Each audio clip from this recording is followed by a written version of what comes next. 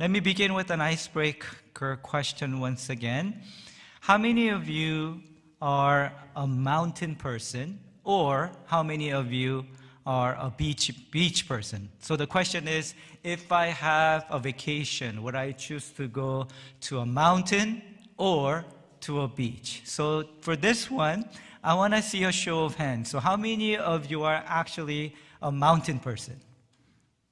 Oh, interesting, right? Mountain, good, good. How many of I guess I'm assuming the rest of you are beach person. But let's still see a show of hands. How many of you would rather go to a beach for your vacation? All right.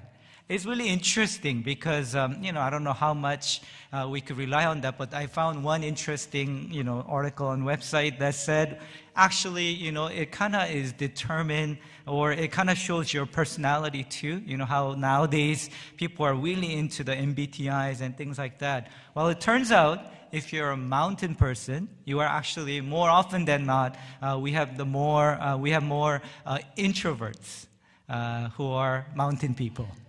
And those who are extroverts are more beach kind of person, right? So, yeah. But for me, I think I would choose to go to a mountain if I'm doing my silence and solitude retreat. But if I'm going for my vacation, I'd rather go to a beach or something like that. So I don't know. I guess it's a little bit of both. And I'm sure all of you are like that too. Well, there's a, um, a preacher and a, a, teacher of preaching by the name of Stephen J. Lawson. And he actually says that today's passage, Romans 8, chapter 30 and 39, he describes it as the height of Mount Everest. So you got this whole mountain range of the story that's running from Genesis to Revelation. And he says that this passage is the height of Mount Everest. And we see why. Because if you see the verse again, it says this For I'm convinced that neither death nor life, neither angels nor demons, neither the present nor the future, nor any powers, neither height nor depth, nor anything else in all creation will be able to separate us from the love of God that is in Christ Jesus our Lord. This is a huge declaration. And I can see why he would say this is the height of Mount Everest. And it's the ultimate point towards which everything in the Bible is moving to and moving towards. And this is where we get to the top. And when you get to the top, what it says is that nothing can separate us from the love of God. But notice, it says that it's not just any love, but love that is in Christ Jesus our Lord. That's why this is this love cannot this is a love and, and we will not it will not be able to separate us from this love because this love is the love that is in Christ Jesus our Lord.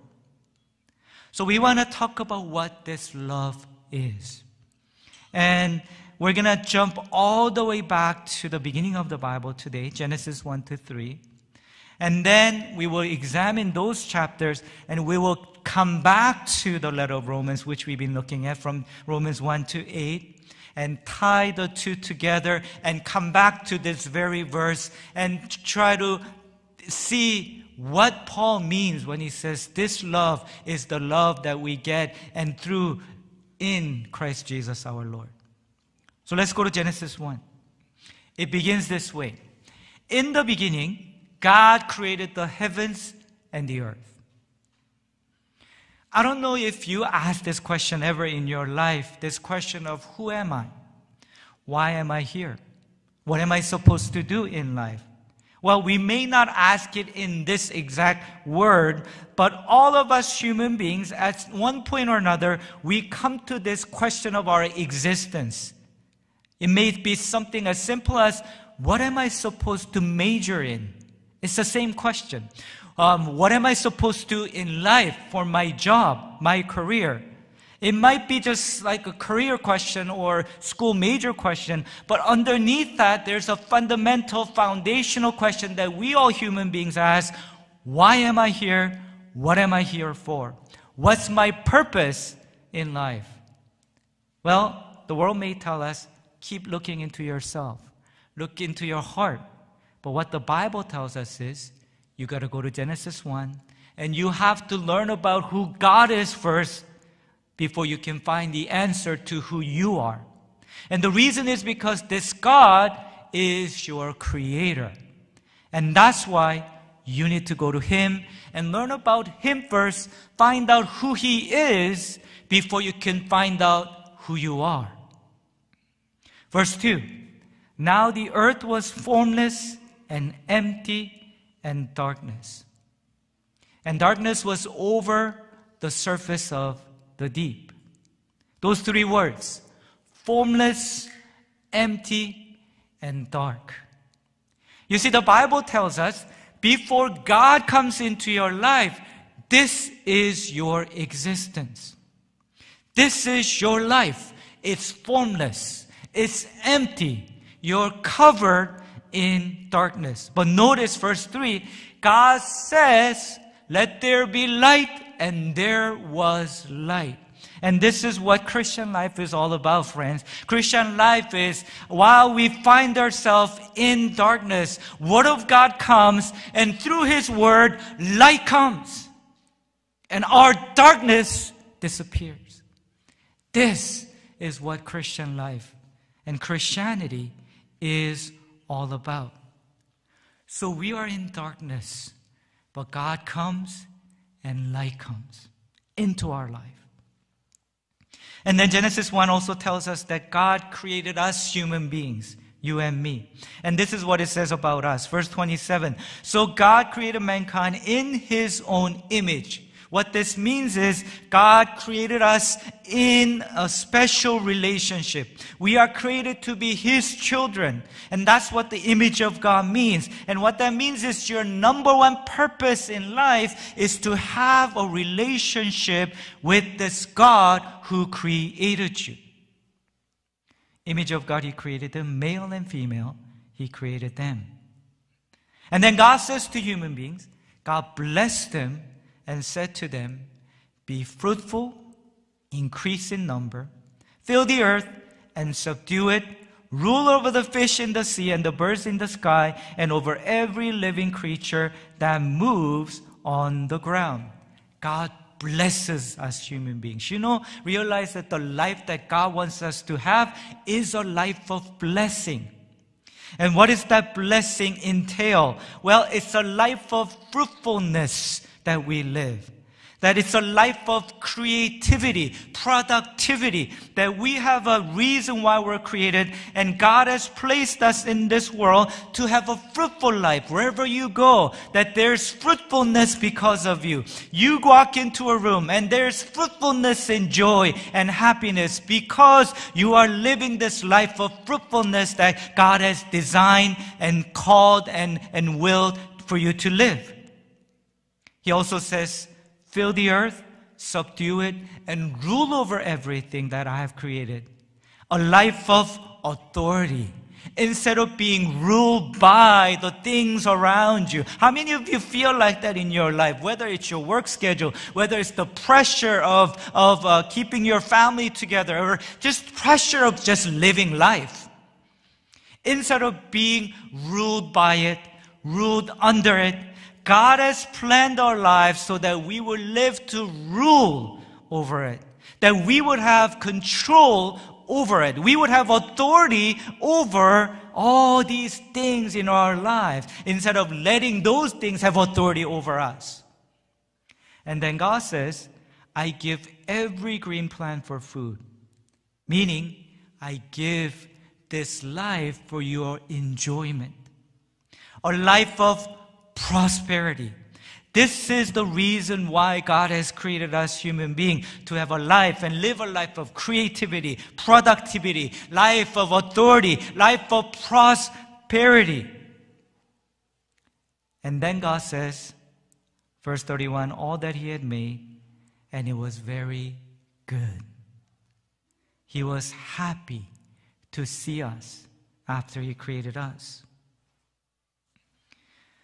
So, this emptiness that we read about at the beginning, God comes in and He begins His work of creation, and this life of emptiness becomes a life of meaningfulness. This is what Christian life is all about. And then on the seventh day, this is what he does. He, verse, chapter 2, verse 1. Thus the heavens and the earth were completed in all their vast array. By the seventh day, God had finished the work he had been doing. So on the seventh day, he rested from his work. Then God blessed, blessed the seventh day and made it holy. Because on it he rested from all the work of creating that he had done. Now, this rest this is not God who got tired after working so hard for six days and on the seventh day, I need to take a nap. That's not what this rest is about. This is a rest where God created everything in the universe so beautifully, so gloriously, and His human beings that He loves and created to be His children, their lives are filled with God's purpose, God's meaning, meaningfulness that comes from living that life of purpose. And as a result of that, God is joyful over these human beings, and the human beings are also joyful because they enter into God's joy together. It's a rest of celebration. It's a rest of peace. It's a rest of dwelling in this love and joy that God has planned for us human beings. So, in the beginning, God created everything in the universe, but then formlessness with which it began is now filled with God's fullness. That's what our Christian life and Christianity is all about. We find ourselves in a state of formlessness. We find ourselves in a, in a state, of, state of emptiness. And we find ourselves in darkness, but God comes into our lives and God makes our life full and He fills it with His purpose and He brings light into our lives. But then problem is we always get robbed of this life. Doesn't it feel like that? I mean, if that's the a purpose for which God has created us, why does this life get robbed from us so often and so easily? Why is it so easily taken away from us if that's what God wanted us to have and do? And this is where we get to Genesis chapter 2 and 3. Because after God creates everything, He plants a garden. And then he places the human being in the garden. And in chapter 2, verse 16 of Genesis, this is what he says. And the Lord God commanded the man, human beings. You are free to eat from any tree in the garden, but you must not eat from the tree of the knowledge of good and evil, for when you eat from it, you will certainly die. And this is what he says. Well, this is a life that I planned for you, but now you are in a garden. And, but there are two potential, uh, two possibilities in that garden. One is that this garden will be a prosperous garden, but the other option, possibility is that it'll turn into a wasteland. Then what does it depend on? Who does it depend on? He says, Well, it depends on you. Why is that? Because God gave human beings freedom to choose either one. You're free to eat everything in this garden, but you must not eat from this one tree. And when you choose that tree and the fruit from that tree, you will certainly die. Why is that? Because it's an option, two options between either trusting God's word and obeying Him, or it's choosing what you think is best and choosing that life, and that will lead to death. Isn't this so true for our life also? Because our lives are meant to be this garden that God has created for us. But our day, our week, our month, our year, our life is also filled with these two possibilities. But then choice is ours. So depending on what we choose, either our lives, our day become a beautiful garden, or depending on what we choose, it becomes a wasteland.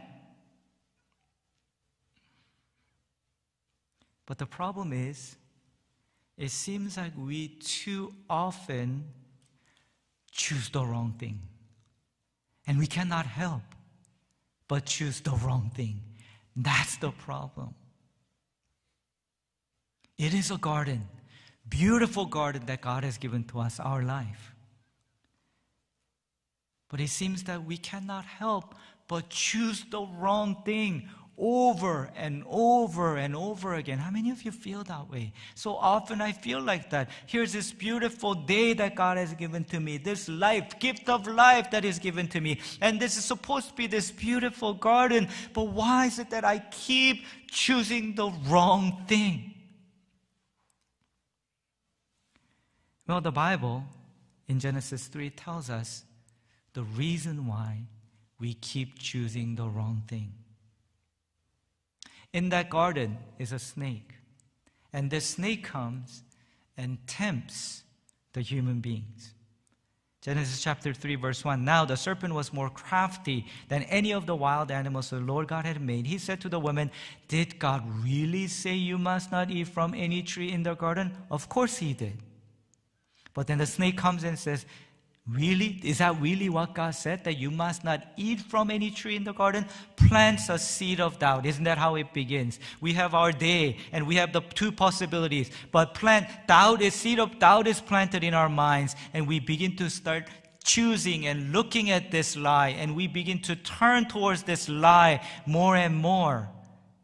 Verse 2 The woman said to the serpent, We may eat fruit from the tree in the garden, but God did say, You must not eat fruit from the tree that is in the middle of the garden. You must not touch it, or you will die. God never said, You must not touch it. He just said, Don't eat it. But now this lie is planted. Now the truth is being twisted in the person, in, in the human being's mind. And then the serpent knows that he's got her.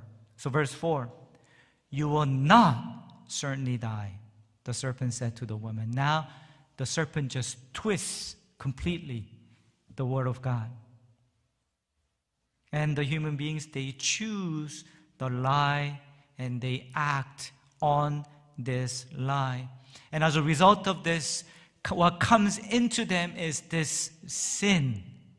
Sin comes into their lives, and what we see in Genesis 3 is the a working out of this sin now that is in them. Disobedient, that the broken relationship with God, out of which comes this, uh, these uh, things that come out of them because of the sin now that is in them.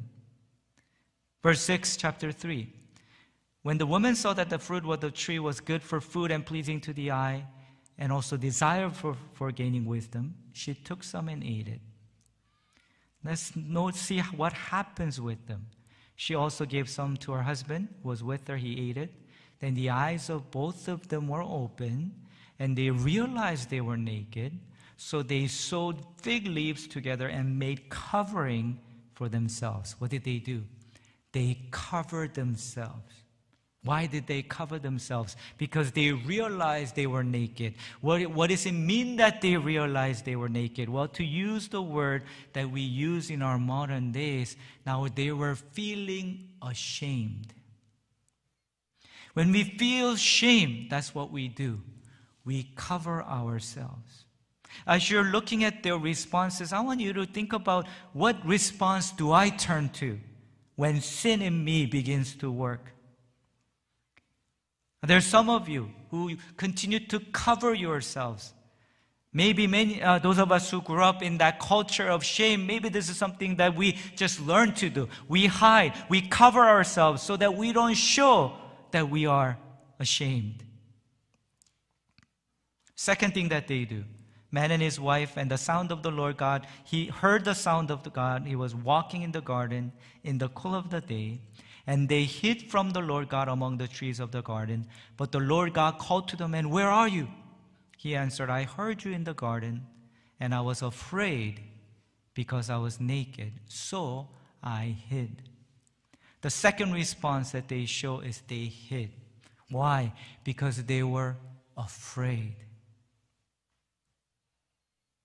Could this be your response?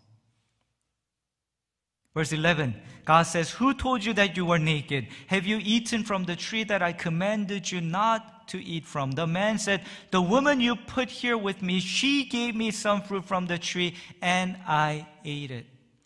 What is the man doing? He gives excuse and he blames. I don't know about you, but I wonder if this is something that all of us fall into at some point in our lives, right? Like something happens and, and we try to protect ourselves by covering ourselves, by hiding, but then we get exposed. Our ugliness is exposed, right? It's like you hide, you cover, but then you're exposed and you're pushed into the corner. And the mo- what the natural response that comes to us is, it's not my fault. It's her fault. It's his fault. We give excuse. We blame. The woman, the man said, the woman put here, right? Uh, she gave me the fruit. Well, God, no, verse 13, said to the woman, What is this you have done? The woman said, The serpent deceived me and I ate. She also gives excuse, but in her response, we see something that takes place in us when sin grabs hold of us, and it's this we fall into deception.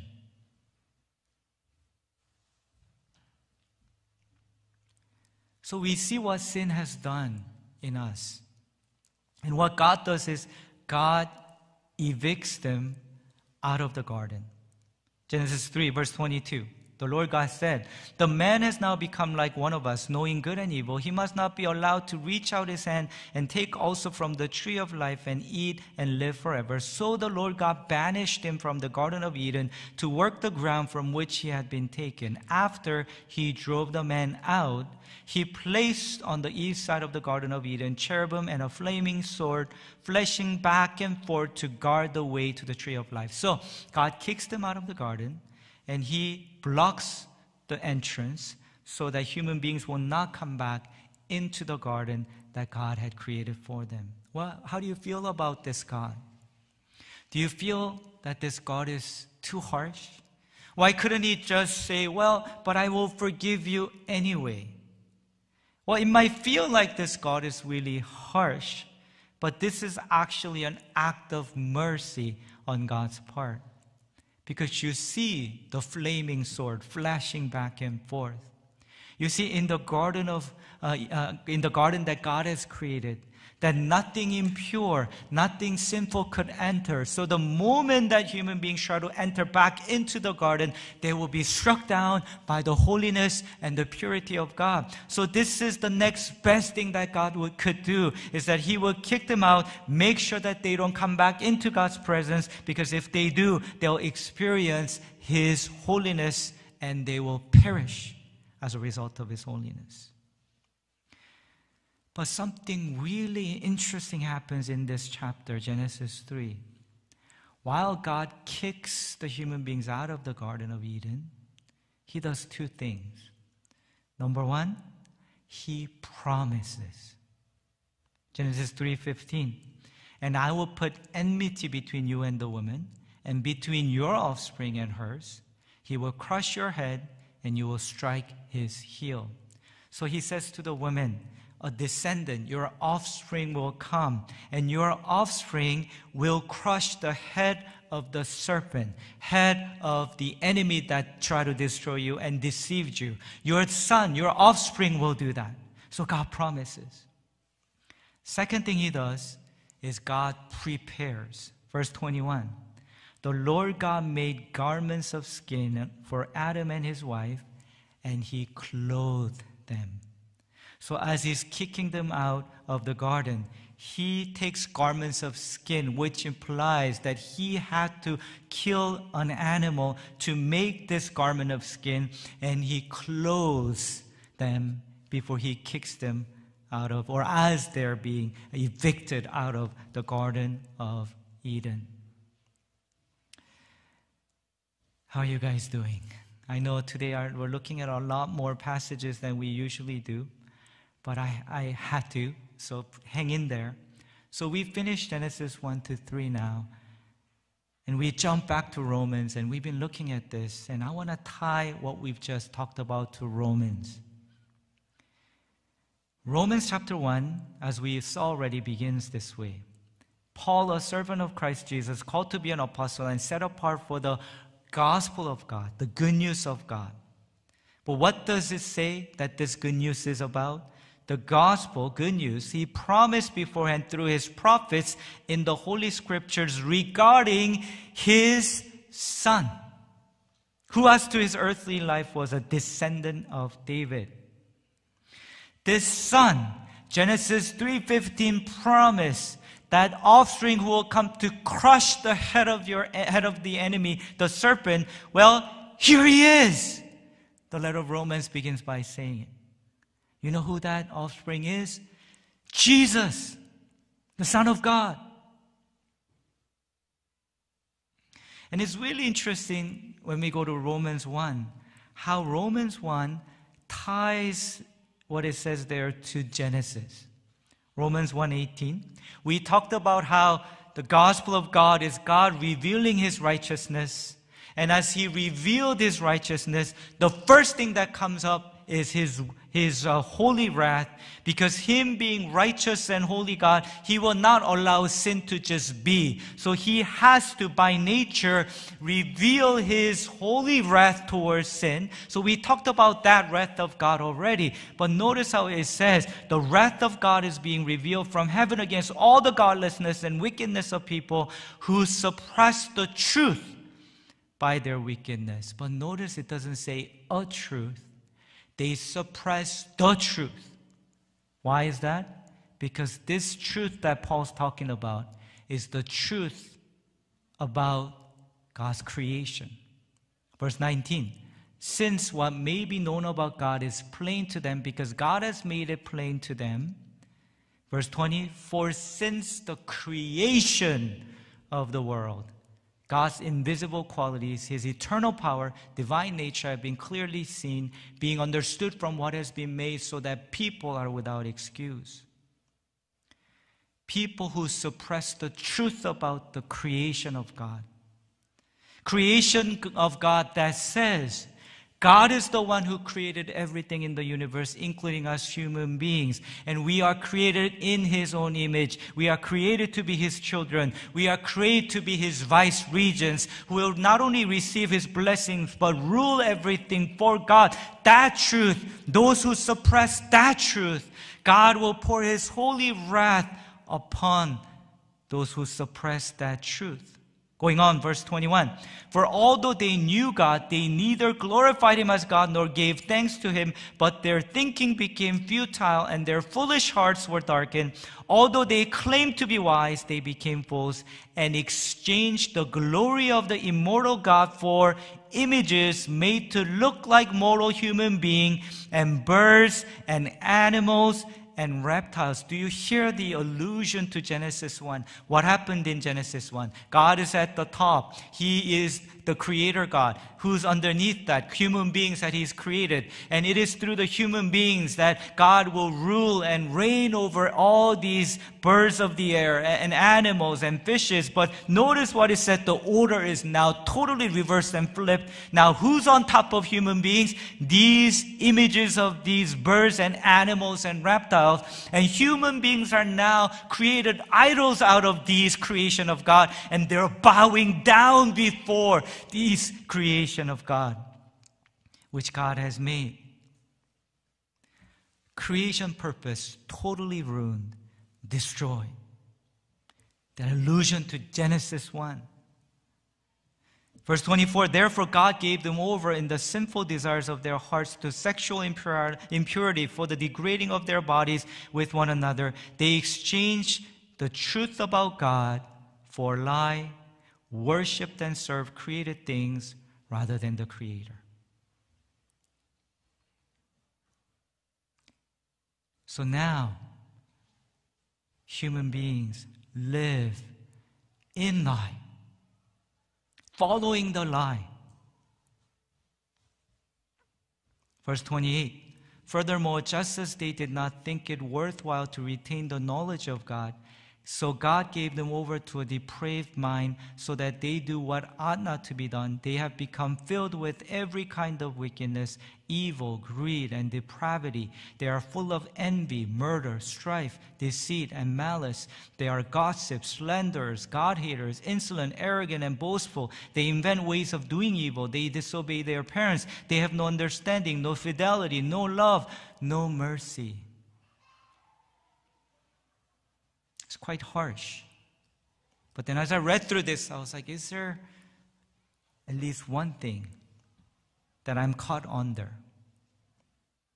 And I don't want to, I won't tell you what it is, but I am caught under at least one of these things.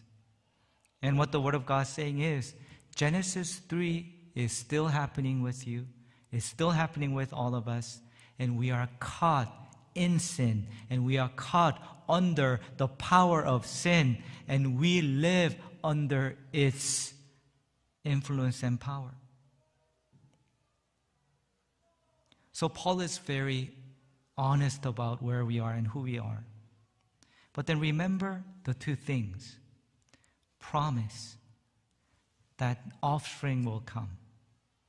Remember that preparation, God um, sacrificing that animal to uh, clothe human beings. Then Romans moves on to say, well, that promise is Jesus. And when he died on the cross, that's the fulfillment of that promise in Genesis 3. So Romans 3:23 for all have sinned and fall short of the glory of God, and all are justified freely by His grace through the redemption that came by Christ Jesus. But literally in Greek, you could say it in Christ Jesus. God presented Christ as a sacrifice of atonement through the shedding of his blood. Do you see the connection with G, uh, that offspring and then that animal that sacrifice in Genesis? Well, I am going to send that offspring, and that offspring will die on the cross and shed his blood. And as a result of his blood, you will be reconciled and restored back to this God and the life that you were meant to live. And that's what the gospel of Jesus Christ is all about. Going from judgment to justification, going from separation to reconciliation. And that's what happened when Jesus died on the cross. If you remember the story in the gospel, where you know how when Jesus died on the cross, the moment he breathed his last, there was a place where the curtain was torn into. Do you remember that? The Holy of Holies? Well, you know what happened? Eden was supposed to be where we dwell with God. But then we were kicked out of this life in Eden. But then God says to the Israelites, this is where I cannot go the entire Old Testament, but God says to the Israelites, will you create a tabernacle? And within that tabernacle, will you prepare this place called the Holy of Holies? And it'll be divided and, and with this curtain, but I will dwell there with you, you people of Israel. So if you cannot come into it, but I will go and give you this place, the Holy of Holies, which it was supposed to represent the Garden of Eden, but the entrance was shut tight because of this separation. But the moment Jesus died and shed his blood, Bible says the curtain was torn in two and our way back into the Garden of Eden where God is, that life of Eden, life full of blessing and purpose and living in God, living with God is now fully restored. The way has been made and you can now walk, back into this garden that God had planned for him and us to live in together.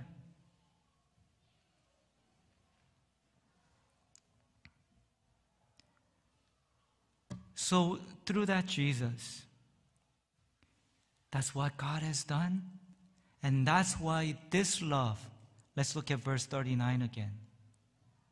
This love of God that is in Christ Jesus, nothing will separate us from this love. Because it's entirely what God in Christ Jesus, what Jesus has done, is not dependent on us, any one of us, or anything we've done, but it's entirely dependent on Him That's why John 3:16 says, "For God so loved the world that he gave his one and only son, that whoever believes in him shall not perish but have eternal life." Nothing can separate us from this love of God that is in Christ Jesus because this is a love that God promised. This is a love that God prepared. And this is a love that God provided. If it took Jesus' death to give us this love, nothing, nothing can separate us from this love as long as we are in Christ Jesus. So here's our takeaway for today. So, friends, be certain of God's love for you. Those of you love to hike in and climb, you know, those mountains and so on. What is it about standing on the top of a mountain that renews us? Because when we stand on the top, we begin to breathe in this new, fresh air. And when we stand on the top of a mountain and we look down, we begin to see our world differently. When you're down there, that, that problem seems so big, right? But then when you go up and stand on the top of God's love and the uh, top of uh, uh, um, the gospel of Jesus Christ, you realize it's so small. I, I'm always amazed by how everything is so small when you go up there. But then when you're down there, it's so big. My failure that seems so big, but when you climb up to the mountain of God and stand on the top of the mountain of the gospel of Jesus Christ, where there's this love is given to me and nothing can separate me from this love, that failure all of a sudden start to look much smaller. The words that I heard that hurt me from someone, when I'm down there, it sounds, it seems so big. But when I'm standing up here and looking it down from this place called God's love that cannot be separated from me, it begins to become much smaller. Even this life that someone else uh, beside you have. This huge mansion that, that your friend owns. And when you're looking at it from down there and you're driving by it and passing by it, it's like, why is that person so house so big and so rich and mansion like him? I've got this dinky little place I live in. Why is my life so terrible? You go up and stand on the top of a mountain, look down. Your house, that person's mansion, they're all small. Same small little thing that you see. And this is what God's love is. This love is amazing because when we stand on there, we begin to see it differently.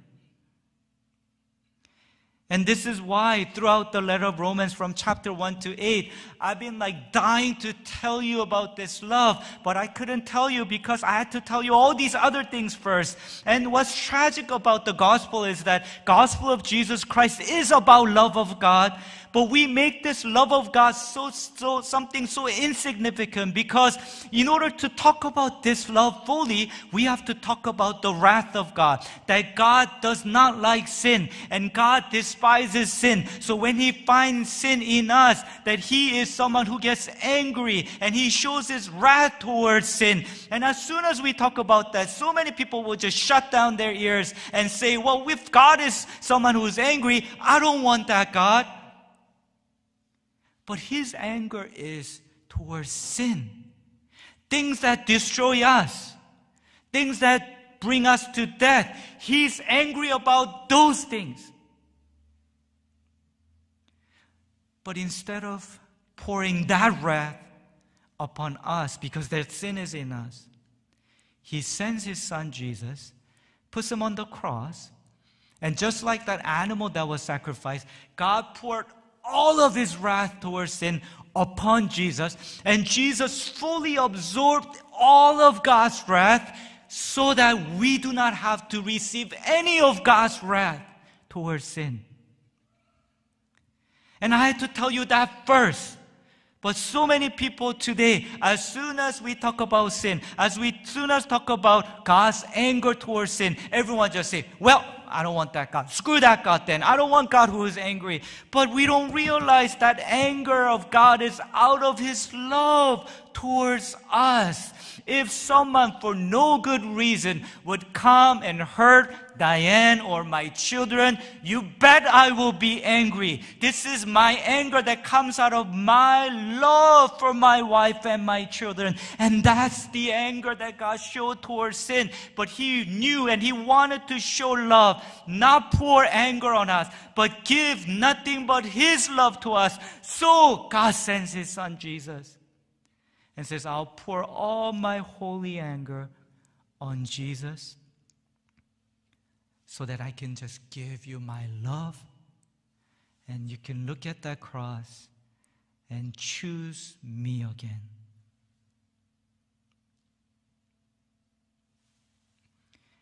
This is, this is how big the love of God in Jesus Christ is. And because of that, Nothing can separate us from this love. And I hope and pray that some of you, many of you, all of you will come to that love today again. As things are, are shaking in your life, as things are crumbling apart, the same old problem is coming back again. Same old struggle and battles are coming back again. As you're thinking, well, is, is, is God's love now? Has it ended? Uh, is love is no longer there for me? Be certain of God's love stand on top of that mountain again and look down again. Whatever is happening, one thing that will not change nothing, even this problem, even this condition, even this situation cannot separate me from the love of God that is in Christ Jesus. I could invite the priest team to come back again. Thanks for hanging in there today. That's why I went longer than I, I usually do.